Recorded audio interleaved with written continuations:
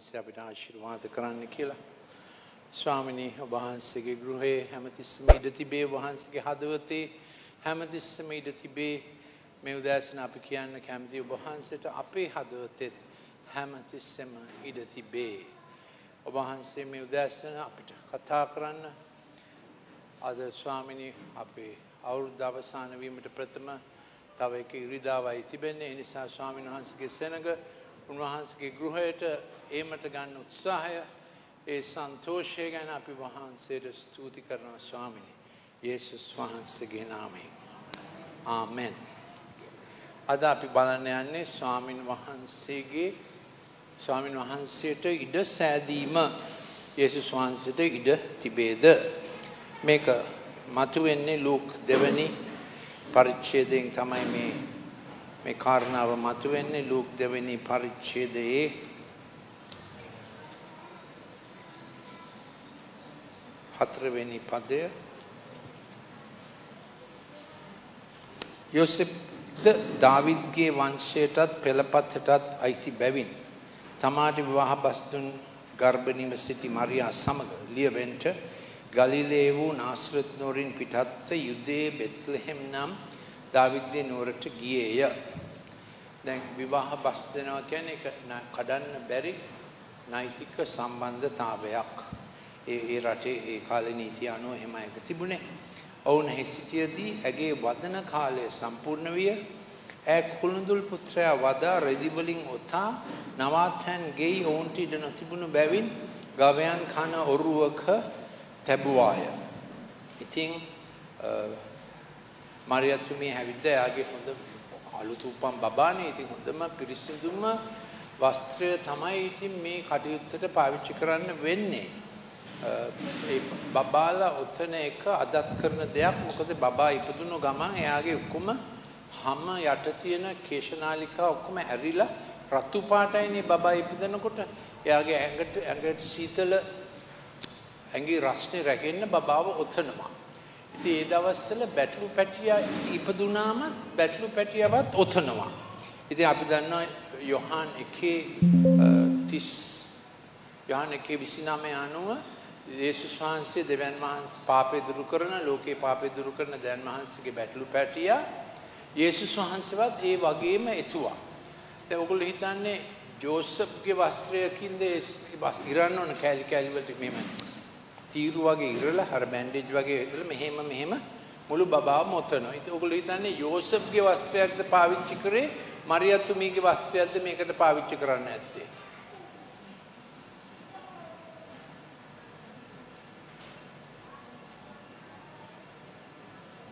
ගොඩක් හිතන්න දෙයක් නෙමෙයි නිකන් පොඩ්ඩක්.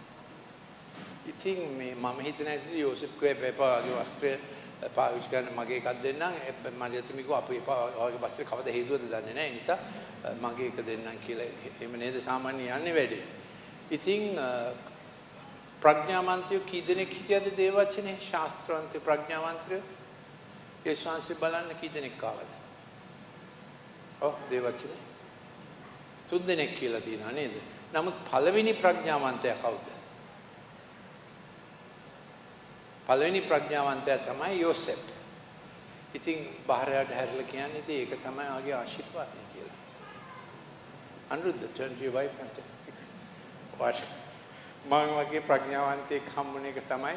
ඉතින් ඇත්තෙන්ම යෝසෙප් තුමා ඒ වගේ ලොකු කැපවීමක් කරා මරියතුමී බලා ගැනීමටත් මේ මේ දරුවා බලා ගැනීමටත් ඉතින් අපි දන්නවා විවාහයේදී අපේ ජීවිතයේ මුළු ඉඩම යනම අපි අපේ ජීවිතයට අපි හා කිව්ව එක්කෙනාට මුළු ඉඩම යනවා. මුළු මුළු ඉඩම දෙන්න ඕන නේද? ඒ බය වුණා. මෙතන ඉන්න තරුණයෝ නිකන් මට පේනවා නිකන් අංකල් මොකක්ද ඒ ඩීල් එක? මුළු ඉඩම යනවා. ඔව් ඉස්සරහ කාමරෙත් යනවා. මෙතන කාමරෙත් යනවා. මුළු ශාලාවම යනවා.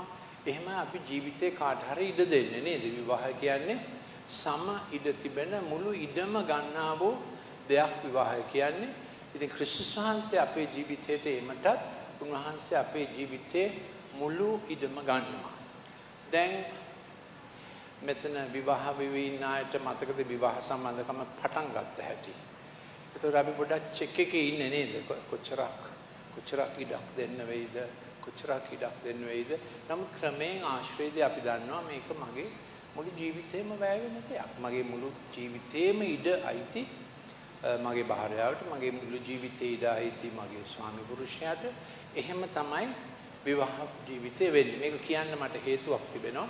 ඉතින් ක්‍රිස්තුස් වහන්සේ අපේ ජීවිතයට ආවමත් අපි උන්වහන්සේට අපිට පොරොන්දුවක් තියෙනවා මතය 11 28 වෙහෙස වෙන්නා බරුසලන්නා ඔස්සියල්ලනි මා වෙතට එන්න මම ඔබට සහනය දෙමි. ඉතින් අපි ගොඩක් හිටියේ ඒ ඒ තැන ඉඳලා තමයි අපි ආවේ.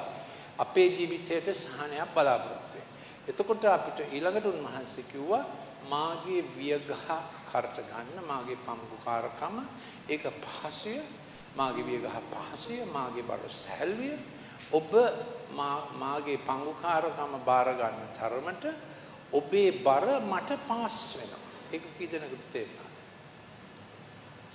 to the extent මා ඔබේ ජීවිතේ ඉන්න තරමට ඔබේ ජීවිතේ මට ඉඩ තියෙන තරමට ඔබගේ ජීවිතේ එක එක දේවල් මගේ පැවරුමට ඇතුළු වෙනවා. එතකොට ඒක මම ඔබට වඩා හොඳට ඔබේ ජීවිතයේ ඉඩකඩ මට බලා ගන්න පුළුවන්. කී දෙනෙක් ඒකට කියනවාද? ඔන්න එක විකල්පයක් මගේ ජීවිතයට අයිති දේවල් මම බලා ගන්නවා. සමහර විට ක්‍රිස්තුස් වහන්සේ හදවතට ආවට පස්සෙත් අපි එහෙම හිතන්න පුළුවන්. දෙවෙනි විකල්පය මට මගේ ජීවිතේ කාරණා බලා ගන්න පුළුවන් වලට වඩා හොඳට ක්‍රිස්තුස් වහන්සේ මගේ ජීවිතේ කාරණා බලා ගනි. කී දෙනෙක්ට එහෙම හිතලා තිබෙනවද? ක්‍රිස්තුස් වහන්සේ මගේ ජීවිතේ ඉඩ කඩ සකසුරුවමින් හසුරයි, ගෞරවයෙන් හසුරයි, සම්පූර්ණ ලාභයක් සඳහා හසුරයි. කඩන්න බිඳින්නේ නැතිව හසුරයි. කීදෙනෙට එහෙම හැඟීමක් තිබෙනවද? ක්‍රිස්තුස් වහන්සේ ගැන. උන්වහන්සේ බලහත්කාරයක් නොකරයි නේද? උන්වහන්සේ අවසර ඉල්ලලා තමයි අපේ ජීවිතේ කාරණා අපිට ඔය දෙන්න අහගෙන දෙන්නේ. කීදෙනෙට හැඟීමක් තිබෙනවද ස්වාමීන් වහන්සේට පවරන දේවල් ඊටාම සකසුරුවමින් බලාගන්න. ඊටාම මහත්ම ප්‍රතිලාභයක් දෙන ලෙස උන්වහන්සේ බලාගනි. කවදාක්වත් අපිට හිරිහැරයක් අවමානයක් වන දෙයක් උන්වහන්සේ කරන්නේ නැත. මේ ක්‍රිස්තුස් වහන්සේට අපේ ජීවිතය බාර දුන්නාම.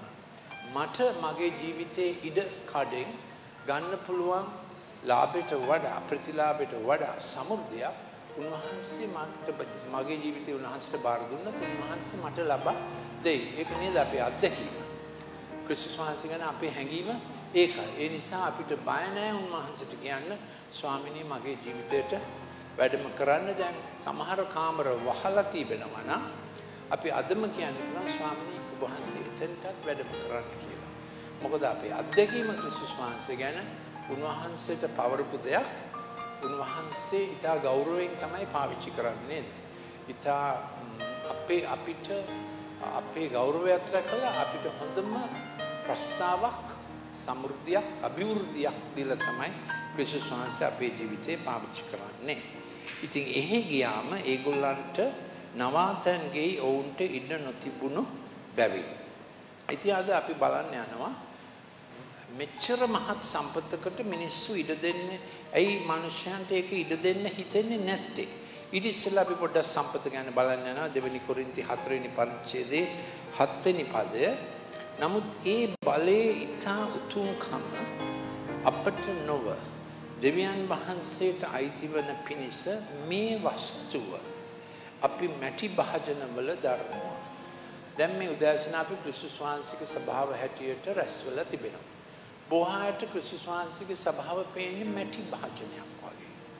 බොහෝ අය ස්වභාවට වඩා ක්‍රිස්තුස් වහන්සේගේ ස්වභාවට වඩා රැකියාව විදියට ගරු කරනවා නෑදෑගේ උත්සවයට වෙඩින් එකට ගරු කරනවා නොයෙක් දේවල් වලට ඒගොල්ලෝ ගරු කරනවා ක්‍රිස්තුස් වහන්සේගේ ස්වභාවයට වඩා.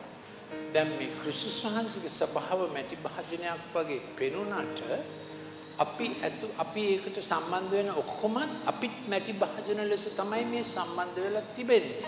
නමුත් උන්වහන්සේ දැන ගැනීම උන්වහන්සේ අපි තුල වගා කරන්නේ උන්වහන්සේගේ සම්පත.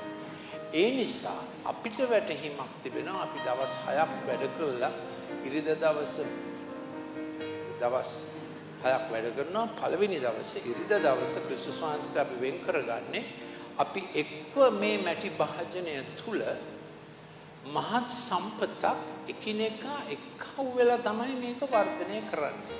ඒක නිසා තමයි ඉස්සර අපි සෛල පාඩම් වලට එක්කව වෙලා මේක කරේ. එක්කෙනෙක් මෙතන ඉඳලා දේශනා කරනවා තමයි. ටික දෙනෙක් নমස්කාර කණ්ඩායම ලෙස මෙහෙවනවා තමයි.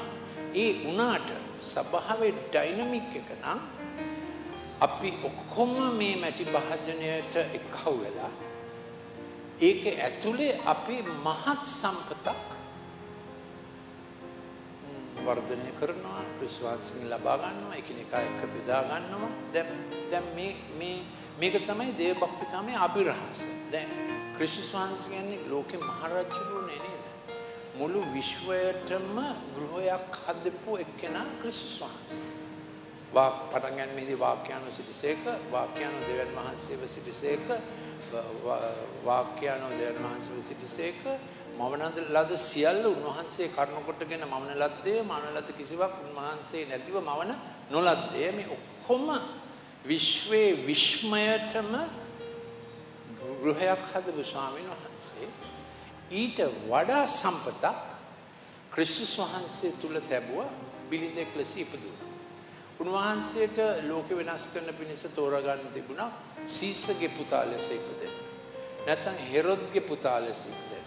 එහෙම නැත්නම් උත්තම පූජකයාගේ පුතා ලෙස ඉපදෙන්න. අඩුම වශයෙන් යුදේ ප්‍රධාන ධනපතියෙක්ගේ පුතා ලෙස ඉපදෙන්න. නමුත් උන්වහන්සේ ඉපදුනේ කවුරුත් දන්නේ නැති පවුලක් ආශ්‍රිතව කවුරුත් දන්නේ නැති කන්‍යාවක් ආශ්‍රිතවයි උන්වහන්සේ ඉපදුනේ. ඉතින් මේකට අපි කියනවා දේව භක්තිකමේ අභිරහස දෙවියන් වහන්සේ සම්පත් වර්ධනය කරන හැටි. උන්වහන්සේ අපෙන් ඉඩ ඉල්ලනවා අපේ ජීවිතේ උන්වහන්සේගේ සම්පත උන්වහන්සේගේ ධනය ට්‍රෙෂර් වෙනම වෙන වස්තු වර්ධනය කරන්න අපේ ජීවිතයේ උන්වහන්සේ ඉඩ ඉල්ලනවා. ඇයි මේක අභිරහසක්? මුළු ලෝකේ මහරජුරු මොකද අපෙන් ඉඩ ඉල්ලන්නේ නේද? ජනාධිපතිතුමා අපෙන් අහනද ඕගොල්ලන්ගේ අවසරයි කියලා. දැන් ඉන්නේ කෙනා කොහෙත් මෙහෙම අහන්නේ නේ. නමුත් ස්වර්ගයේ මහරජුරු එයා අපෙන් ඉඩ ඉල්ලනවා උන්වහන්සේගේ සම්පත අපේ ජීවිතේ වර්ධනය කරන්න. ඉතින් අපි ඉරිදා දවසේ හා වෙන දවස්වල සබහාව මැටි භාජනයක්. නමුත් ඒකේ ඇතුලේ තමයි දයන් වහන්සේගේ සම්පත වර්ධනය කරන්නේ. ඒක තේරුම් ගත්ත අය සබහාවේ වර්ධනය උදෙසා ආත්මික ජීවිතයේ වර්ධනය උදෙසා අපි පෞද්ගලිකවද සාමූහිකවද අපිට දෙන්න පුළුවන් මුළු ශක්තිය දෙනවනේ. මේක තමයි ස්වාමින් වහන්සේට ඉඩ හැදීම. මැටි වාදනයක්.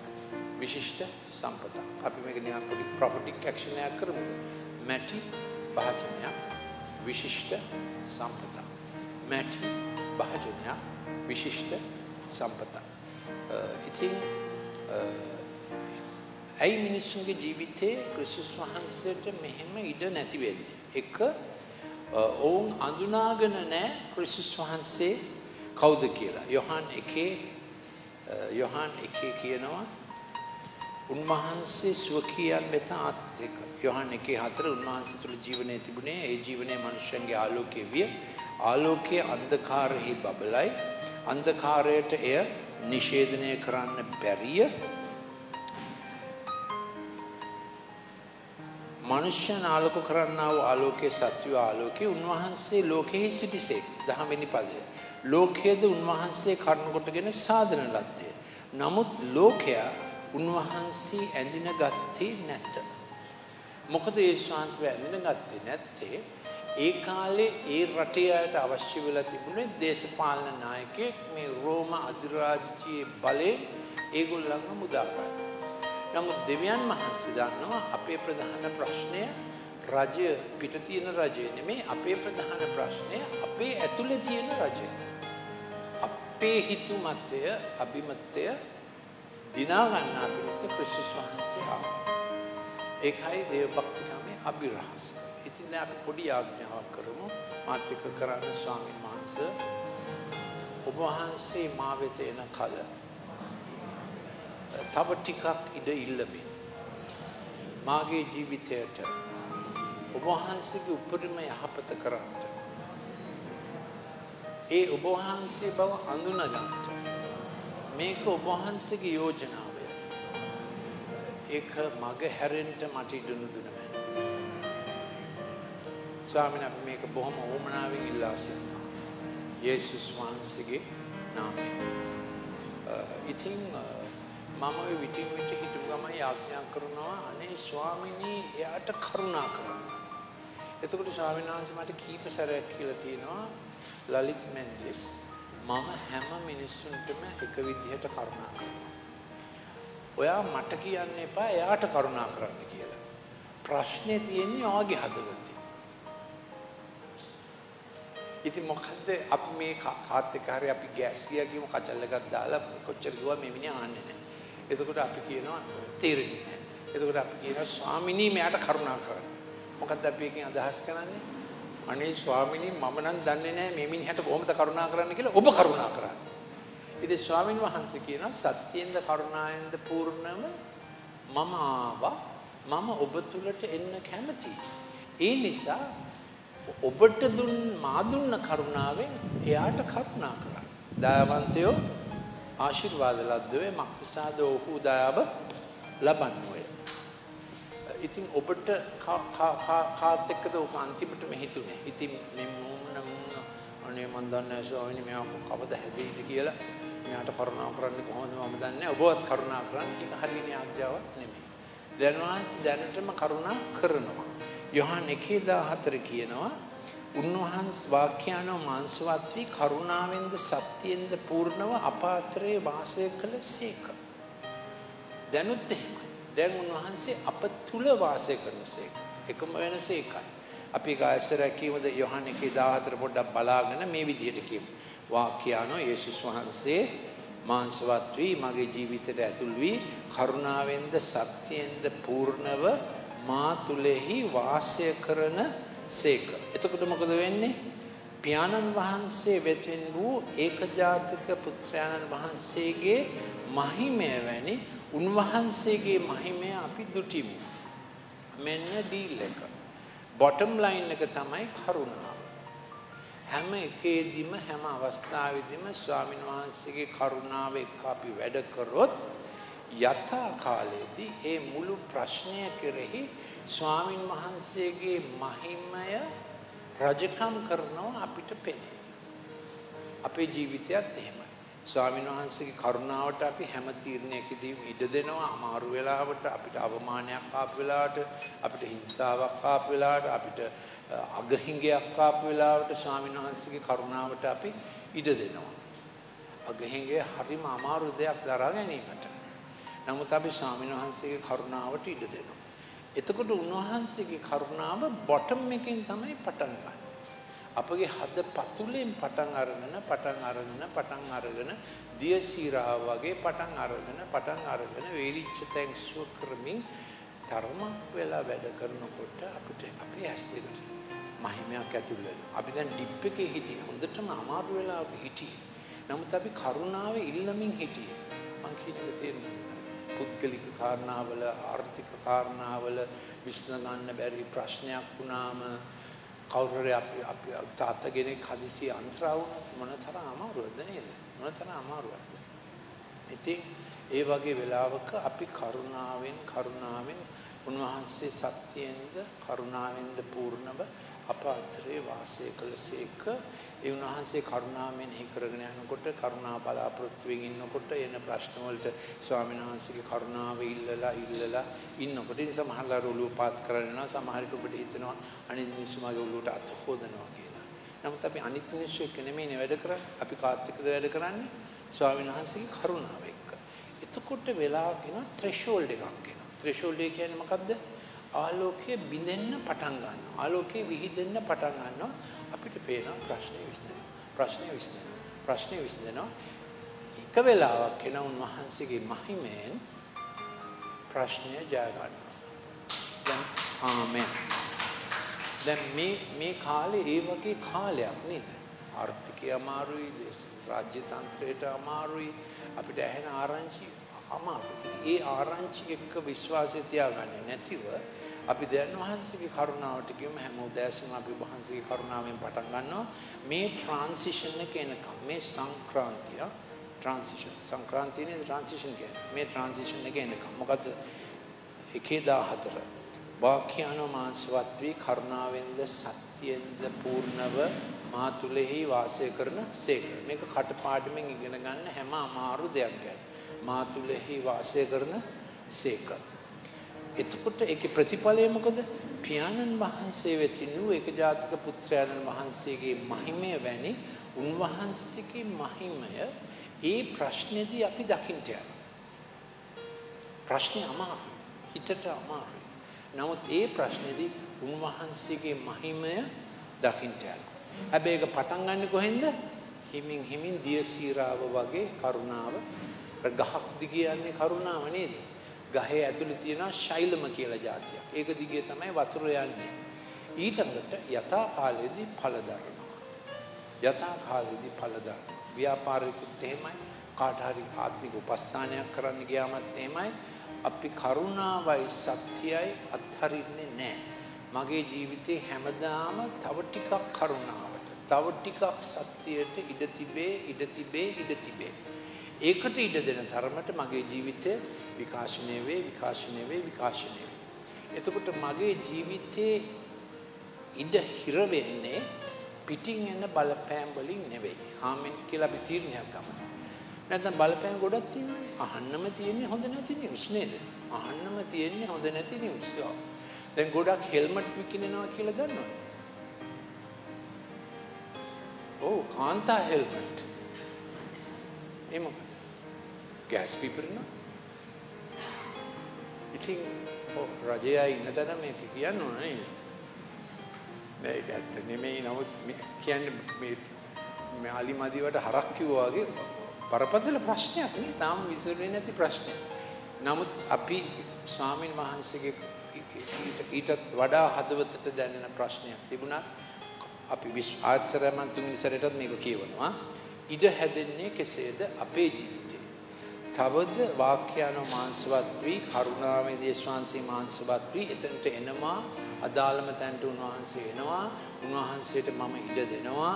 මම තවත් කාරණා වහම් කරගෙන ඉන්නේ නැහැ. හැම කාමරයක්ම හරිනවා හැම අමාරු තැනකට උන්වහන්සේ එනවා. මා තුලෙහි වාසය කරුණාවෙන්ද සත්‍යෙන්ද පූර්ණ වෙනවා මම. ක්‍රිස්තුස් වහන්සේ මාව අත්නෑර මාත් එක්ක වැඩ කරන නිසා මම උන්වහන්සේට ඉඩ දෙනවා. එවිට පියාණන් වහන්සේ වෙතින් වූ ඒකජාතික පුත්‍රයන් වහන්සේගේ මහිමය වැනි උන්වහන්සේගේ මහිමය උන්වහන්සේගේ බෙස්ට් සොලියුෂන් එක උන්වහන්සේ මගේ ජීවිතයේ හැම කොටසකින්ම හැම කාලකදීම කරන්න තියෙන දේවල් වලින් මගේ ජීවිතේ පිරෙනවා. දැන් ඔන්න ටිකක් හුස්මක් අරගෙන මම ඔබගෙන් ඔබට යෝජනාවක් කරන්න යනවා. මේකයි යෝජනාව. ඔබේ ජීවිතය නැමැති කාමරය දිහා බලන්න. ඔබේ ජීවිත කාලය නැමැති කාමරය දිහා බලන්න. මොකද්ද ඔබට පේන්නේ? ඔබේ ජීවිත කාලය නැමැති කාමරය දිහා බලන්න. මම හිතන්නේ ඔබට පේන්නේ දැන් ඉන්න ගෙදර නෙවෙයි. ඔබ හැදෙනකොට ඔබට වැඩියෙන්ම හැදෙන කාලේ හිටපු ගෙදරයි ඔබට පේන්නේ. මං කියපුක තේරුණාද? දැන් නිකන් පොඩ හැපියාගෙන ඔබගේ ජීවිත කාලය නැමැති කාමරය දිහා බලන්න. දැන් මොනවද ඒ කාමරේ තියෙන්නේ? ජීවිත කාලය නැමැති කාමරය දිහා බලන්න. මට පේනවා මම අවුරුදු 3 විතර මේ මොකද්ද අත්තක් කඩන්න ගිහිල්ලා ඒකේ හිටපු දැලඹුව මගේ ඇඟ පුරාම වැටිලා මගේ ඇඟ පුරාම පොල් තෙල් ගන්න සිද්ධ වුණා අපේ අම්මට. එකත් මගේ ජීවිතේ කාමරයක තියෙනවා. වෙන මොනවාද ඔබගේ ජීවිතේ කාමරේ තිබෙන්නේ? ගොඩක් දේවල් තිබේ. දැන් අපි කියමු යේසුස් වහන්සේ මාතේ කියනවා. යේසුස් වහන්සේ යේසුනේ මගේ ජීවිතේ නැමැති කාමරයට කරුණාවෙන්ද සත්‍යෙන්ද පූර්ණ වූ ඔබ වහන්සේ වැඩම කරන්නේ. දැන් මගේ යෝජනාව ඔබට පෙනේ ආලෝකයේ හිමින් හිමින් පටන් ගන්න. පරණ සිද්ධි ගැන. ඔබගේ ජීවිත කාලේ යන්තම් තියෙන මතක ගැන. පොඩි කාලේ මතක ගැන. තරුණ කාලේ පියසටහන් ගැන.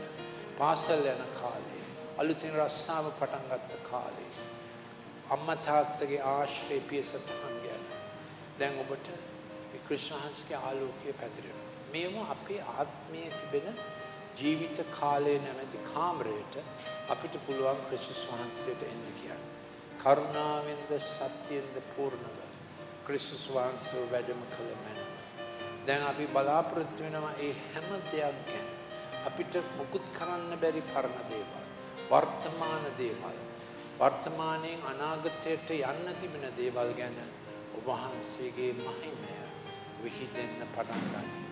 කරුණාවෙන් සත්‍යයෙන් පටන්ගත් දේට කරුණාවට සත්‍යයට ඉඩ දුන් විට ඔබ වහන්සේගේ මහිමය විහිදෙන්න පටන් ගන්න.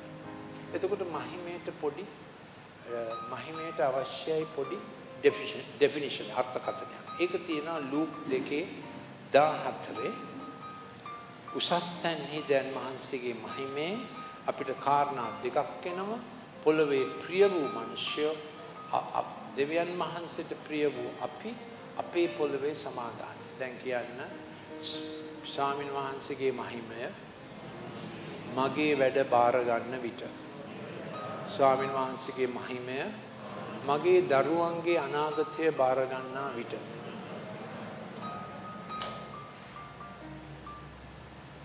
ඔබ වහන්සේගේ ප්‍රසාදය මගේ ජීවිතයටත් ඔබ වහන්සේගේ සමාදානය මගේ පොළවටත්. ආයසරකිමු මාත් මං කරන එක බලන්න. ඔබ වහන්සේගේ ප්‍රසාදය මගේ ජීවිතයටත්. ඔබ වහන්සේගේ සමාදානය මගේ පොළවටත්. දැන් මම මීට ඉස්සෙල්ලා විස්තර කරලා තියෙනවා මේ සමාදානය කියන එකේ අර්ථය සුභ සිද්ධිය. ඒ මරියතුමීට මේ පණිවිඩය එනකොට ඇය බය වුණා. ඇයට දේවදූතයෙක් කිව්වා බය වෙන්න එපා. දෙවන් වහන්සේගේ සුභ සිද්ධිය වේවා. යෝසෙප්තුමාට පණිවිඩය ආවම එයා බය වුණා. එයාට කිව්වා බය වෙන්න එපා යෝසෙප්. මේක මගේ. තු එඩේරුන්ට පණිවිඩය ආවම ඒගොල්ලෝ බය වුණා. එතකොට දෙවන් වහන්සේ කතා කරලා කිව්වා දෙවියන් වහන්සේගේ ප්‍රිය වූ මනුෂ්‍යයන් වෙන්ට ඔබගේ පොළොවට සමාදානය වෙන්නත් තමයි මේ මම මේ පණිවිඩය ප්‍රකාශ කරන්නේ. ඉතින් ඒ ලේරු හරිම කචල් වලට පැටලිච්ච අය. ඒක දෙයන් වහන්සේට ප්‍රශ්නයක් නෙමෙයි. ඒ නත්තල් පණිවිඩයට සම්බන්ධ වූ හැමෝටම බයක් ආවා. දෙයන් වහන්සේ වහම කිව්වා ඔබ බය වෙන නමුත් මගේ මගේ මගේ උත්සාහය ඔබ සමග මේ මේ දේවල් කරන්නටයි. ඉතින් මනුෂ්‍යයන්ට මොකද දෙයන් වහන්සේ ගැන යේසුස් වහන්සේට ඉඩ දෙන්නේ නැත්තේ ඒගොල්ලන්ට යේසුස් වහන්සේව අඳුන ගන්න බැරි වෙනම මගේ ජීවිතයට දැන් අවශ්‍ය මේකයි කියලා. ඒ අපිටත් මේක වෙන්න පුළුවන් මොකක් හරි ප්‍රශ්නයක් පැන නැගුණාම අපි මාස 9ක් විතර ඒකත් එක්ක අපිට පුළුවන් දේ කරනවා. එතකොට සමහරලාට තිබුණටත් වඩා අවුල් වෙනවා. එතකොට අපිට හති යනවා. හති ගිහිල්ලා අපි ඔළුව පාත් වුණාම ස්වාමීන් වහන්සේ කියනවා දැන් මම පටන් ගන්නවා. දැන් මට මතකයි මේ කොවිඩ් ප්‍රශ්නය උග්‍ර වෙනකොට අගෝස්තු මාසේ මට හරියට වහන්සේ මං කියන්න උත්සාහ කරා කියන්න පුළුවන් හැමෝටම මේ ප්‍රශ්නෙට මුහුණ දෙන්නේ මෙහෙමයි කියන එක අහන්නේ. ඒක ඉතින් කේන්තිත් යනවා. ඊට පස්සේ ස්වාමීන් වහන්සේ කිව්වා ඕක මට කිව්වොත් මොකද මෙහෙම මෙහෙම මෙහෙම කියලා. ඉතින් අපි යාඥා කරන්න පටන් ගත්තා. දවසට හතර සැරයක් පස් සැරයක් මිනිත්තු 90ක් විතර එක දිගට අපි හතර පහ දිනක යාඥා කරා. උදේ 10ට යාඥා කරනවා, උදේ 2ට යාඥා කරනවා, හැන්දෑවේ 5ට යාඥා කරනවාමයි. ආයෙත් රෑ 10යි 30ට යාඥා කරාම අපි ඉවර කරන්නේ 12 පහ වෙලා. මේ විදිහට දවස් 40ක් විතර ගණන් කරලා කිතුවේ නැහැ. නමුත් අමාරුව නිසා යාඥා කරන්න පටන් ගත්තා. දෙවියන් වහන්සේට ප්‍රශංසා වේවා. මතකද 212ක් මැරුණා එක දවසක්. ඒ අගෝස්තු මාසේ අන්තිම විතර වෙනකොට. ඒ දවසේ ඉඳලා එන්න එන්න එන්න එන්න මරණ සංඛ්‍යාව අඩු වුණා. අපි දැන් වහන්සේට අත්පොල් සනාදද්දි මොකද මගේ මගේ දැනීමෙන් කරගන්න බැරි වුණු දේ ස්වාමින් වහන්සේගේ කරුණාවයි සත්‍යයයි ඉල්ල ඉල්ලා බොහොම පරිකමෙන් ආඥා කරගෙන කරගෙන යනකොට උන්වහන්සේගේ මහිමය වැඩ බාර ගන්න පටන් ගත්තා. දැන් අපිට අත් දෙක ඔස්වලා කිව්ද ස්වාමීනි මට අමාරු වුණු තැන්වල ඔබ වහන්සේගේ කරුණාවට ඔබ වහන්සේගේ සත්‍යයට මා ඉඩ දෙන විට මා ඉල්ලා සිටින විට ඔබ වහන්සේගේ මහිමය වැඩ බාර ගනීවි. ඒ නිසා වැඩි නිවුස් ඇහිල්ල නවත්තලා නපුරු යෝජනා මෙහෙම මෙහෙම වෙයි කියන එකට කන් දෙන්නේ නැතුව බැරි මේනකොට කියන්නේ ස්වාමිනී මං කරුණාවටත් සත්‍යයටත් බාර වෙනවා ඔබ වහන්සේගේ මහිමය වැඩ බාර ගනීවි. ඒක අනාගත වාක්‍යයක් නෙමෙයි. මොකද සමහරලාට අපි අමාරුවෙන් යාඥා කරගෙන කරගෙන යනකොට අපි යාඥාවේ ඉර වෙනවා. වෙනසක් වුණේ නැහැ. නමුත් අපි මේ විදිහට යාඥා කරනකොට අපි හැමෝම අනාගත වාක්‍යයක් කියනවා ධර්ම වාක්‍යයක් කියනවා මගේ ජීවිතයට මීට වඩා ඉඩ කඩ හැදෙන්නේ. ඇත්තම අපේ ප්‍රශ්නේ රටේ ප්‍රශ්නේ නෙමෙයි. අපි ජනාධිපති නෙමෙයිනේ. අපි මුදල් ඇමති නෙමෙයි. අපේ අවශ්‍යතාවය අපේ පුද්ගලික අවකාශයේ කෙසේද අපි දරුවන්ට මුණුබුරන් ඉන්නවනම් මුණුබුරන්ට කොහොම අපේ ජීවිතයට අපේ දෛනික වියදමට දෛනික සනීප ආරක්ෂාවට අපි කොහොමද කරුණාවයි සත්‍යයයි වැඩ කරමින් උන්වහන්සේගේ මහිමය වැඩ බාරගන්නේ උන්වහන්සේගේ මහිමය වැඩ බාරගන්නේ මේක මේ ඉරිදා අපි මේ ට්‍රාන්සිෂන් එක ඉල්ලමු.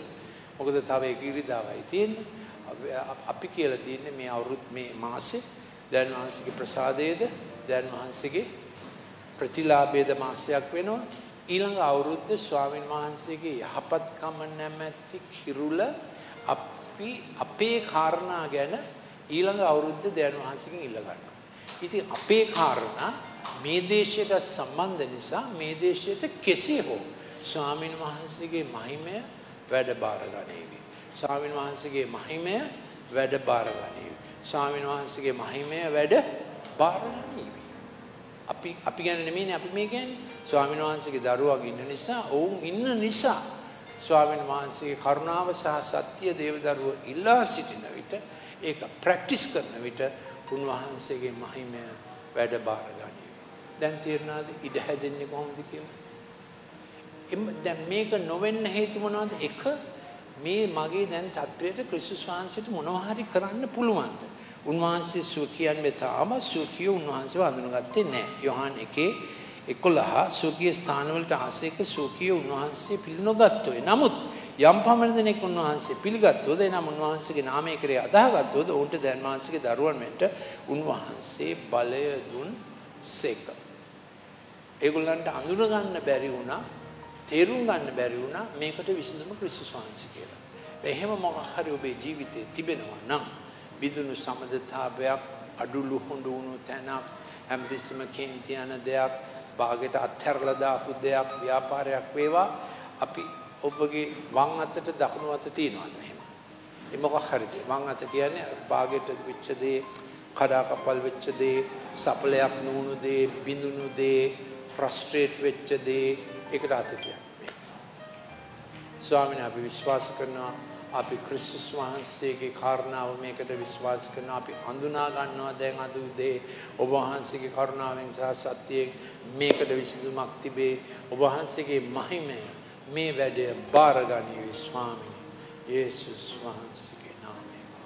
එතකොට අපි ස්වාමීන් වහන්සේගේ ස්වෛරීතාවයට හිස නමනවා. ස්වාමීන් වහන්සේගේ ස්වෛරීතාවයට හිස නපු මනුස්සයට කේන්ති යන්න බෑ. ඒ උන්වහන්සේගේ මහිමයට මේක බාර දීලා තිබෙන්නේ. මහරජුරු මේක බාරගත්තා උන්වහන්සේගේ අධිකරණයෙන් මේ වැඩේ කරනවා. ආයෙත් මම ඒකට ඇඟිලි ගහන්න යන්නේ නැහැ දෙවෙනි කාරණාව අපේ ජීවිතය එක එක වැඩක් නැති දේවල් වලින් පිරීලා තිබෙනවද? ඔබගේ දවසේ පැය 12 ගමන් කරන්නේ කෙසේද? ඔගේ ටෙලිවිෂන් එක කොච්චරක් තියෙනවද? ඩිජිටල් ස්ක්‍රීන් එක කොච්චරක් තිබෙනවද? ආඩපලි කොච්චරක් තිබෙනවද? අපි ඉල්ලා සිටිමු ස්වාමිනී මගේ ජීවිතයේ කාමරයේ තිබෙන අස්පස් නොකරපු දේවල්. ඒවා වහන්සේ ප්ලීස් රිමූව් පරණ ගනුදෙනු නොකඩු නඩු ෆයිල් ගෑස් වෙච්ච තැන් කළු වෙච්ච තැන්. ඒ වලින් ඒක දැන් හැමෝගෙම ගෙදර තියෙනවා මේ go down කියලා එකක්. ඒ කියන්නේ ඕනේ නැති දේවල් ඔක්කොම දාන කාමර කෑල්ලක්. දැන් සොල්දරයක් තියෙනවා නම් ඒක ඒක යට තමයි ඒක තියෙන්නේ. ඒ එහෙම කාමරයක් කී දෙනෙක්ගේ ගෙවල් වල තියෙනවද? ඒ කියන්නේ මේ වයර් කෑලි, කැඩිච්ච ආයුධ, පරණ පොත් ඉතින් හිටපු ඒක කිඹුලෙක් ඉන්නවද දන්නෙත් නෑ. මොකද දැන් ඔක්කොම ඒකට ඒ කියන්නේ ඒකේ මේ මී මීයන්ගේ ප්‍රසූතිකාගාර කරපොත්තන්ගේ ලේබර් රූම්ස් හූනෝ දන්නවනේ. දැන් අපි ස්වාමිනේ මගේ ජීවිතේ මේ පිරලා තිබෙන ඉවර වුණු නැති ගනුදෙනු බලට වහන්සේ සබතක් ගන්න විශ්‍රාමයක් ගන්න මම වහන්සේට ඉඩ දෙමි. ඉඩ දෙමි. ප්‍රධාන ශාලාවෙත් ඉඩ දෙමි. ඔබ වහන්සේ මගේ ජීවිතේ පිරුණු ඉවර වෙච්ච නැති වැඩවලින් මට වහන්සේ නිදහසක් දෙන්න. තුන්වෙනි එක උඩුඟුකම. දැන් අපි එකටත් ස්වාමීන් වහන්සේට කියමු. ස්වාමීන් අපි ආඥා කරමු ස්වාමීනි දැන් මට පේනවා මගේ උඩුඟුකම පොඩි පර්වතයක් වගේ. මේක හෙල්ලෙන්නේ නැහැ. වැඩේ මේ පර්වතය මොබයිල්. ඒක මාත් එක්ක යන යන තැන යනවා. මොකද මේක මං ඇතුලේ තියෙන උඩුඟුකම. මං කියන්නේ මේක හැමෝගෙම ප්‍රශ්නය නෙමෙයි. නමුත් ධනවතාටත් උඩුඟුකම තියෙනවා, දිලින්දාටත් උඩුඟුකම තිබෙනවා. මගේ යෝජනාව අද මේ උඩුඟුකම පොඩි පර්වතයක්. මොකද අපි ගොඩක් කල් ඒක අතපත ගාලා හැඩවැඩ කරලා එයා හිතනවා මම හිතනවා ඒ මම කියලා. ඒ මම නෙමෙයි ඒ මගේ උඩුඟුකම. දැන් අපි අපේ උඩුඟුකමට කතා කරමු. ස්වාමීන් වහන්සේ elephant in the room elephant in the room. ස්වාමිනී මගේ ජීවිත කාමරේ. අපි ඔක්කොම එකට කියමු දැන් අපි තාම ඉන්නේ අර ඉස්සල දර්ශනේ මගේ ජීවිත කාමරේ. මගේ ජීවිත කාමරේ. අපි ආයත් ඇස්යුමා බලනවා.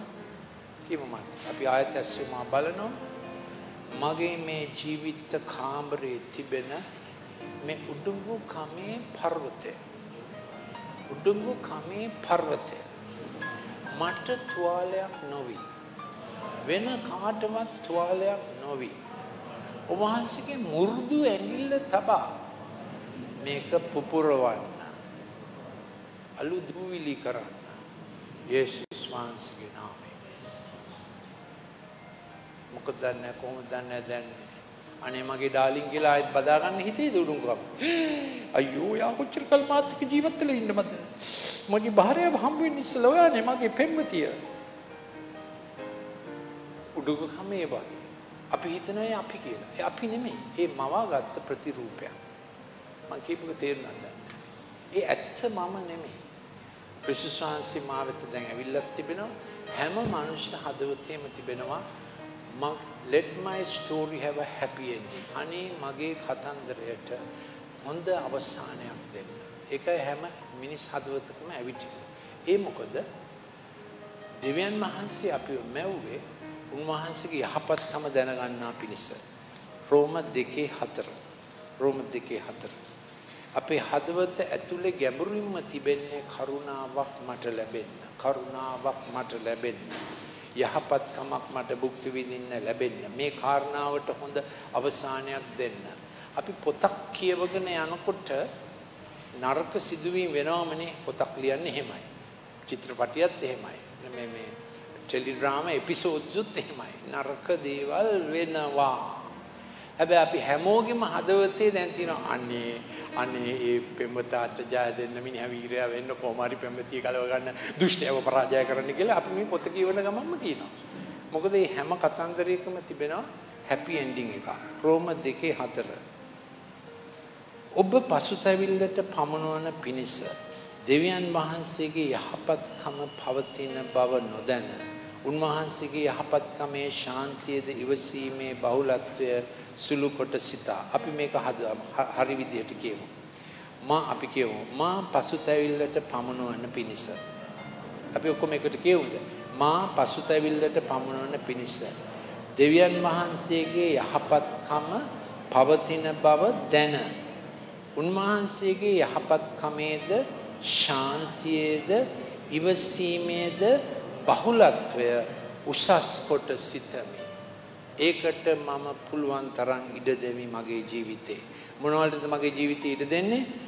දයන් වහන්සේගේ යහපත්කම උන්වහන්සේගේ යහපත්කම උන්වහන්සේගේ ශාන්තිය උන්වහන්සේගේ ඉවසීමට මම ඉඩ දෙන්නෙමි. ස්තුති වේවා ප්‍රශංසා වේවා. ඒකට තමයි මම ඉඩ දෙන්නේ. දැන් අපි මේ ඩීල් කරේ තුන්වෙනි කාරණාව මේ අපේ ජීවිතේට එන උඩුඟුකම්. හතරවෙනි කාරණාව මම කලිනුත් කිව්වා නත්තල් පණිවිඩය ලැබෙන හැමෝටම උන්වහන්සේ කිව්වා බය වෙන්න එපා. මරියතුමිට කිව්වා බය වෙන්න එපා. මහත් සුභ සිද්ධියක් වෙන්න යන්නේ. යෝසෙෆ්ට කිව්වා බය වෙන්න එපා. ඔබට කවදාකවත් තිබුණේ නැති විශිෂ්ටකම ඔබගේ ජීවිතයට එන්න යන්නේ. එනේරුන්ට කිව්වා බය වෙන්න එපා. මේක මහත් ප්‍රීතිපදවන ආරංචියක්. ਜ਼ෙකරියස්ට කිව්වා යා ගොඩක් ටිකක් බය වුද්දෝ හිටියේ. බය වෙන්න එපා සක්‍රියස් ඔබ මම ඔබව සිහි කරා ඔබගේ පොරොන්දු ඔබට දුන්නු පොරොන්දුව මට මතකයි. මොකද දයන් වහන්සේ මෙපමණ ක්‍රිස්තුස් වහන්සේගේ ලෝක පහළ වීමේදී බය වෙන්න එපා කිව්වේකට හේතුව. මොකද ඕගලන්ට හිතෙන්නේ? Do not be afraid. බය වෙන්න එපා. හේතුව මිනිස් දෙබසක් පළමු වරට දෙවියන් වහන්සේට ඇහෙන එක ලියලා තියෙන පොත කොහෙද? මොන පොතේද ලියලා තියෙන්නේ? උත්පත්ති පොතේ. ආදම්ගේ එකම පළවෙනි සංවාදයේ දෙවන් වහන්සේ සමග එයා මොකද්ද කිව්වේ? දෙවන් වහන්සේ මොකද්ද ඇහුවේ? ආදම් ඔබ කොහෙද? මම මේ කියන්නේ ලිඛිත සංවාදය. ඊට ඉස්සෙල්ලා ඒගොල්ලෝ ගොඩක් දේවල් කතා කරන්නේ නැති ආදම් ආදම් කියන්නේ නැති කොබ හරි ෂෝක්නේ දෙවන් වහන්සේ පොල් ගා හරි ෂෝක්නේ තැඹිලි ගා හරි ෂෝක්නේ එක එක ඒවා කියන්නේ නැති. නමුත් ලියලා තියෙන්නේ දැන් වහන්සේ ආදම් ඔබ කෝ ආදම් කිව්වා මම බය මම නග්න මම හැංගුණා. ඒ නිසා ක්‍රිස්තුස් වහන්සේ ලොව පහළ වෙනකොට උන්වහන්සේ ආපහු ආපහු පුල පුලා කිව්වා මම මේ එන්නේ මේ මාගේ ප්‍රේමාන්ත පුත්‍රයාය. ඔහු කෙරෙහි මම අතිශයින් ප්‍රසන්න වෙමි. දැන් මේ බය ගැන අද අපි තීරණයක් ගමුද? මගේ නොහැකියාව ගැන බය මාව පිළිගන්න එකක් නැහැ මට අයිති ගෞරවය දෙන එකක් නැහැ මට සෞත් විදිහට සලකයි ඔය කොහොම බය ගැන අපි තීරණයක් ගමු අරගෙන කියමු ස්වාමීනි මම විශ්වාස කරනවා මාතේ 3:17 මාතේ 3:17 මාතේ කියනවාද ස්වාමීන් වහන්සේ මගේ ජීවිතේ මතුවී තිබෙන බය ඒ ඒ තැන්වල තිබුණු බය ඔබ වහන්සේ මට එලිදරව් කරන්න. ඒ බය නිසා මම හැසිරෙන විදිහ මට එලිදරව් කරන්න. දැන් ස්වාමිනී මම ඔබ වහන්සේ මට කතා කරන දේ මේ මාගේ ප්‍රේමාන්ත පුත්‍රයාය මේ මාගේ ප්‍රේමාන්ත දුවනියය ඔබ කෙරෙහි මම අතිශයින් ප්‍රසන්න වෙමි. මේක අපේ අභ්‍යන්තර කතාව කළ මැනව. යේසුස් වහන්සේගේ නාමය. නැත්තම් බය කියන එක අපගේ ඉදිරි ආරක්ෂක බලල්ල වෙනවා. එතකොට කවුරුත් අපිට මොකුත් කියන්න ලං වෙන්නේ නැහැ. ඒකයි බය බය කරන්නේ. ඒ බය බය අපි තුල තිබෙන බය දැක්කම අපේ ප්‍රතික්‍රියාව මනුෂ්‍යයන්ට දැනෙනවා වෙන්නේ ඉස්සෙල්ලා. එතකොට ඒක අපි වටේ තිබෙන ආවරණයක් වෙනවා. ඉතින් අපි හිතනවා ඒක අනිත් අයව වළක්වනවා කියලා. ඒක අපිවත් වළක්වනවා. ඉන් එහාට අපිට යන්න බෑ. ඉන් එහාට සම්බන්ධතා එන්නේ නැහැ. ඉන් එහාට අභිවෘද්ධිය එන්නේ නැහැ. කී දෙනෙක්ට මේක තේරෙනවද? Fear is an encirclement. We think it stops others from getting to us. අපි හිතනවා මේ බය කියන ආරක්ෂක වලල්ල අනිත් අය අපිට අපිට ලඟ වෙන්න බැරි විදිහට අපි දාගත්ත කියලා. ඇත්තෙන් මේක කාවද පාලනය කරන්නේ? මා මගේ ජීවිතේ එන්නේ එන්නේ කොටු වෙලා නේද? කොවිඩ්ත් එහෙමයිනේ. කොවිඩ් නිසාද අපි කොච්චර ප්‍රවේශමින්ද යන්නේ නේද? අපි සභාවෙත් එකිනෙකාට ලං වෙන්නේ නැහැනේ. සනීපාරක්ෂක ප්‍රශ්නයක් නිසා. වෙන දේවල් ගැන බයත් ඒ වගේ. අපි වැටක් ගැහුවා.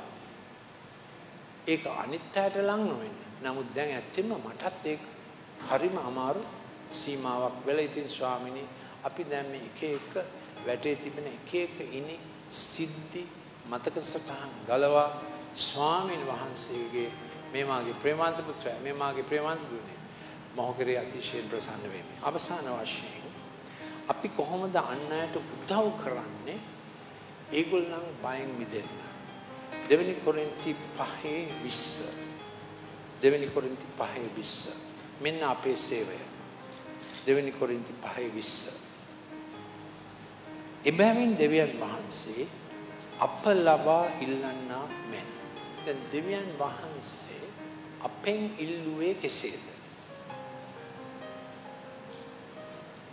දෙවියන් වහන්සේ අපෙන් ඉල්ලුවේ කෙසේද?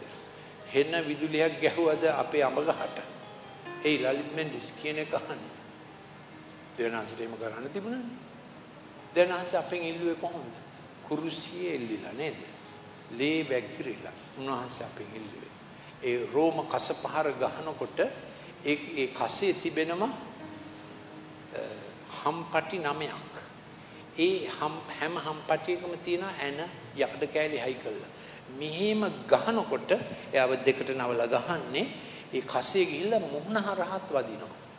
ඒකයි ඒ ක්‍රිස්තුස් වහන්සේගේ කුරුසියේ මරණ දර්ශන තිබෙන චිත්‍රපටයේ මාර මුණ ඔක්කොම ලේ ලේ තෙත් වෙලා කැඩිලා කැඩිලා මෝන කැඩුනා. අඳුනගන්න බැරි තරමට කැඩුනා. එසේ එල්ලෙන ගමන් තමයි උන්වහන්සේ ආයාචනය කරේ. දෙවියන් වහන්සේ අපෙන් ඉල්මන්නාක් මෙන් අපි කොහොමද අපේ නෑදෑයන්ගෙන් ඉල්ලන්නේ? තේරෙන්නේ තානාපතිකම් දෙවෙනි කොරින්ති 5:20. අපි කොහොමද එවැනි ආයාචනයක් නිකුත් කරන්නේ දෙවෙනි කොරින්ති 5:20. එබැවින් දෙවියන් වහන්සේ අපෙන් ඉල්ලන්නාක් මෙන් අපි ක්‍රිස්තුස් වහන්සේ වෙනුවෙන් තානාපතියෝ සිට දෙයන් වහන්සේ හා සමග වෙල්ලායි ක්‍රිස්තුස් වහන්සේ වෙනුවෙන් නුඹලාගෙන් ඉල්ලමි. අපිට ආදර්ශයක් තිබෙනවා නේද? උන්වහන්සේ විඳ දුක් අපි විඳින්න කියනවා නෙවෙයි. අපේ කටහඬේ උන්ට ඇහෙනවා දිව්‍ය ශෝකය සහ සමාව. අපේ කටහඬේ උන්ට ඇහෙනවා දැන් වහන්සේගේ මොළොක් ගුණයක් හා උරුමයක්. අපේ කටහඬේ ඔවුන්ට ඇහෙනවා දේව දරුවන්ගේ සමාදානය. අපි ඉතින් මේ මාසේ තව දවස් 12යි තියෙන්නේ. අපි කැප කරමු ස්වාමින් වහන්සේගේ මේ පණිවිඩය ඉල්ලන්න. අවසාන කොටස මේක කාටද අපි අරන් යන්නේ? මම කැමතියි ගීතාලිය 68න් ඒක කියන්න. සභාව මං කිව්වා සභාව මැටි වාචනයක් 68 පහ 68 පහ ගීතාලිය 68 පහ සබහව මැටි භාජනය. ඒකේ අලංකාරය පිටට පේන්නේ නැහැ. නමුත් ඒක ඇතුලේ සම්පතක් තිබෙනවා. ඒ සම්පත තමයි ඔබ දේවදරුවා. ඔබට තියෙන සම්පත මනුෂ්‍යයන්ට පෙනෙන්න අවශ්‍යයි. පරණ කිවිසුමේ ආදර්ශයක් තියෙනවා මණ්ඩපය කියලා. ඒ මණ්ඩපයේ පිටින් වහලා තියෙන්නේ මොගටියගේ හැමෙන් කිසිම ලස්සනක් නැහැ. නමුත් ඇතුළට ගියාම තමයි ඒකේ ලස්සන පේන්නේ. අපි අවලස්සන වෙන්න අවශ්‍ය නැහැ. නමුත් අපේ අභ්‍යන්තර අලංකාරයක් තිබෙනවා ක්‍රිස්තුස් වහන්සේ නිසා. යසා 68 සුඛීය ශුද්ධ නිවාසයේ වැඩවසන දෙවියන් වහන්සේ. දැන් ඔබ කියන්න ඔබ ළඟ ඉන්න කෙනාට දෙවියන් වහන්සේගේ ශුද්ධ නිවාසයේ ඔබනේ. ලෙසනඟ කියන්නේ. දෙවියන් වහන්සේගේ ශුද්ධ නිවාසයේ ඔබනේ. ස්වකීය ශුද්ධ නිවාසයේ වැඩවසන දෙවන් වහන්සේ. දැන් දෙවන් වහන්සේට ප්‍රශංසා වේවා අපිට හොඳ ශාලාවක් තිබෙනවා ඉඩ ඇතිව රැස් වෙන්න. මට මතක් වුණා ඊයේ අපේ ඉංග්‍රීසි ලැන්ග්වේජ් කැරල් සර්විස් එක තිබුණා. ඒක බොහොම උනන්දුවෙන් ළමයි කරලා තිබුණා. මට මතක් වුණා 1982 අපේ පළවෙනි කැරල් සර්විස් එක ගෝනාවල අපිට තිබුණේ පොල් අතු මඩුවක්. ඒකේ බිමට බිම දූවිල්ල. ඉතින් කැරල් සර්විස් එකක් කරන්න පුළුවන් බිම අපි සාමාන්‍යයෙන් පොල් අතු දානවා. වියපු පොල් අතු දාලා බිමනේ ඉඳගන්නේ අපි කාලේ. ඉතින් එදා කැරල් සර්විස් එක නිසා සිස්ටර්ගේ සාරි ටික දැම්ම බිම මිනිස්සුන්ට. කැරල් සර්විස් නේ එයාගේ සාරි ටික බිම දැම්මා. ඉතින් දැන් මොකුත් එලි අපිට තිබුණේ මේ චිම්නි ලාම්පුවක් විතරයි. ඊට ඉස්සරින්ද අපේ අල්ලපුවත් එක්කෙනා අපිට ගෙනත් දුන්න පෙට්‍රොමැක්ස් ලාම්පුවක් තෑග්ගක්. ඉතින් ඊළඟට එදා උදේ තව එක්කෙනෙක් හිටියා මාක් ඩොමිනික් කියලා ගණන්කාරයෙක්. එයා ගැලියෝ ලැබුවා. එයා ගෙනත් දුන්න භූමි තෙල් බෝතල් කෑන් එකක්. ඉතින් එයා කිව්වා මට නිකන් හිතුණා මේක ගෙනත් දෙන්න ඕන කියලා. ඉතින් එයා දන්නේ නැහැ අපිට පෙට්‍රොමැක්ස් ලාම්පුවක් ලැබිලා කියලා. තිබුණේ එක ප්‍රශ්නයයි. දැන් පෙට්‍රොමැක්ස් ලාම්පුවක් තියෙනවා භූමි තෙලුත් තියෙනවා. මොකද්ද ප්‍රශ්නේ? මොකද්ද ප්‍රශ්නේ? වෛද්‍ය විද්‍යාලේ උගන්වන්නේ නැහැනේ පෙට්‍රොමැක්ස් ලාම්පු පුරවන හැටි. මම පෙට්‍රොමැක්ස් ලාම්පුවක් පුරවලා නැහැ. එතකොට බ්‍රදර් මහින්ද එදා හිටියේ නැද්ද මන් දන්නේ එයා නම් දන්නවා මේවා. මම ඉතින් මොකද කරේ? ඒගොල්ලෝ කිව්වා මේ දාලා ගෑස් ගන්න ඕන කියලා. ඉතින් මම කිව්ව විදිහට කරා. දිව්‍යන් වහන්සේට ප්‍රශංසා වේවා. අපි නාමයට පටන් ගන්නකොට මේක පත්තු වුණා. වහල වහල පොල් අතු. වහල පොල් අතු. ඉතින් මේක පත්තු වුණා. දහය මාර වෙනකොට අපි හොඳට ගීත ගායනා කළ ටික දෙනයි හිටියේ. හරි ප්‍රීතිය. අපිට ලයිට් එකක් තියෙනවා. ලයිට් එක පෙට්‍රොමැක්ස් එකක්. දහය මාර වෙනකොට ගෑස් ඔක්කොම බැහුවා පෙට්‍රොමැක්ස් එක. සම්පූර්ණයෙන්ම අන්ධකාරය. දෙවන් වහන්සේට ප්‍රශංසා වේවා. අරක හොඳටම රත් වෙලා. දෙවන් වහන්සේ විශ්වාස කරනවා. දෙවන් වහන්සේගේ වැඩ පෙට්‍රොමැක්ස් එකේ උලන් අර ප්‍රෙෂර් එක ඔක්කොම බැස්සා. අපි කලුරේ ගීත ගායනා කරා. පස්සේ අපිට තේරුනේ තව ටිකක් පත් වුණා නම් පත් වෙනවා හොඳ ෆයර්වර්ක් එකක්. දෙවියන් වහන්සේ අපිව බේරගත්තා. ඉතින් ස්වාමීන් වහන්සේගේ කරුණාව දැන් අපිට කොච්චර දේවල් තියනවාද නත්තල් බැතිගී රැස්වීමක් කරන්න. චන්ද්‍රදාස ඇවිල්ලා තියෙනවද අපේ ගෝණවල මඩුවට නෑනේ? ආ? සෙනරත් අංකල්ලා ගෙදරනේ ඔයාගේ. ගෝණවල මඩුවට ආපු කවුරුත් නෑ මෙතන මම හිතන්නේ. නෑ කවුරුත් නෑ. කවුරුත් nobody. yo. ඉතින් දෙවන් වහන්සේට ප්‍රශංසා වේවා. උන්වහන්සේගේ අනේකාකාර දයාව ගැන. අපි පොඩ්ඩක් නැගිට සිට ස්වාමීන් වහන්සේට කියමු. පොඩ්ඩ නැගිටින්න ඉස්සෙල්ලා මේ අපීල් එක නේද? ස්වාමීන් වහන්සේගේ අපීල් එක අවසාන වශයෙන් ඊටාම මැටි භාජනයක් වුණා. ස්වාමීන් වහන්සේගේ සුභාරංචිය. ගීතාලි 68 පහ. සුඛීය සුද්දස් නිවාසින් වැඩවසන දෙවියන් වහන්සේ. පියා නැත්තන්ට පියෙක්. මේක තමයි සභාවේ මිෂන් එක. අපි කොයි වගේ සභාවක්ද පියා නැත්තන්ට පියෙක්. වැන්දබුවන්ට විනිශ්චයකාරයෙක්. ඒ කියන්නේ හැමදාම ඒ කාලෙත් දැන් කාලෙත් වැඩියෙන්ම අසරණ අසරණ වෙන අය වැන්දබුවෝ. ඒගොල්ලන්ට නීතිය ඉෂ්ට වෙන්නේ නැහැ. අයිති ප්‍රයෝජන ගන්නවා, පෙන්ෂන් ලැබෙන්නේ නැහැ. එක එක ප්‍රශ්න එනවා. තුන දැන් මාංශේ හුදකලා වූවන්ට ගෙයක් සාධනසේ. මෙච්චර විශ්වය මැව්ව දැන් මාංශේ හුදකලා වූවන්ට ඉන්න තැනකුත් හදනවා. ඒ කියන්නේ දේව පවුල හදනසේක. හිරකාරයන් අභිවෘද්ධියට පමුණුනසේක. අපේ ජීවිතේ මොනාරි හිර වෙලා තිබෙනවා නම් මේක හෙබ්‍රේ වචනේ තියෙන ප්‍රබල වචනයක්.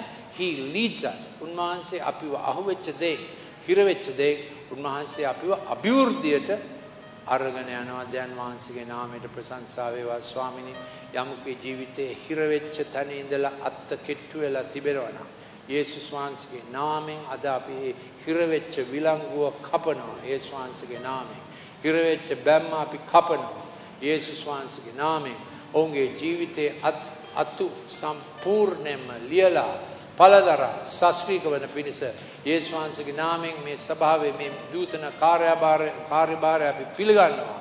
හිරකාරයන් අභිවෘද්ධියට ගේන්න ස්වාමින් වහන්සේ බලයේ වචනයක් කතා කරන සේක අවසානයක කැරලිකාරයන් දාගිය තැනක වාසය කරන නමුත් නමුත් ඊතාලිය 65 18 කියනවා ඔබ උසස් ස්ථානයට නැගී ගියසේක නැත්නම් කැරලිකාරයෝ කියන එක අහන්නේ නැහැ. උන්වහන්සේ උසස් ස්ථානයට නැගී ගියසේක ලංකාවේ ස්වාමිනේ උඩඟු ප්‍රභු කැරලිකාරයන් ගැනත් ඔබ වහන්සේට විසඳුමක් තිබේ.